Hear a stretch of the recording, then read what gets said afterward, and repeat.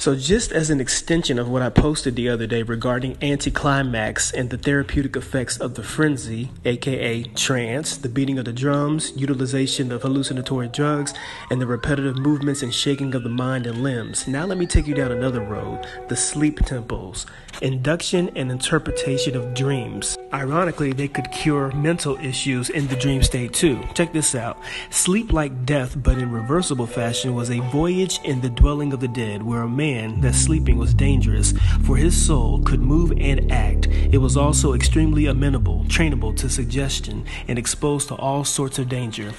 The reason why this is so impactful because this really sheds light on something that I've known for a long time, which is your dreams are just as vital as your legs are that help you to walk. But why do we not pay that much attention to our dreams like we should? The disconnect is real.